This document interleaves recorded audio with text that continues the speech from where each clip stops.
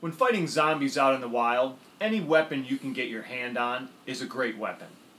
If you can get your hands on a sai, that would be great, but I doubt it. If you can get your hands on some nunchucks, that might work well too. Good luck. Your best bet is to at least carry some kind of small weapon.